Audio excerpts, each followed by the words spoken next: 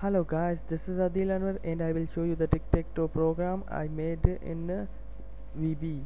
It's uh, originally a game. Okay, it's two player and this is the game. Okay, let's go and play it a bit. This game ended as draw. Wait. some bug with this but I will fix this. Okay. Okay now it's working. Okay play on the game. And after you finish this yes let's go and check history.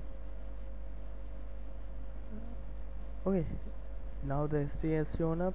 Number of players to own is 3 and number of draw is equal to number of play 1 1 is equal to 0 and this is the uh, when uh, you when the string is equal to true then uh, it will show this icon.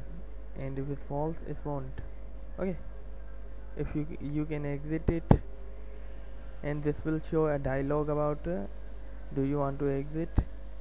If yes then it will exit it. If no then it won't. Okay. Now I will show you the program codes. Okay you can see it uh, correct but I will make tutorials. Okay.